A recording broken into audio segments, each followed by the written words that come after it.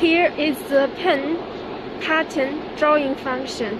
Here on the needle 6, uh, this is the device you see different from other five needles.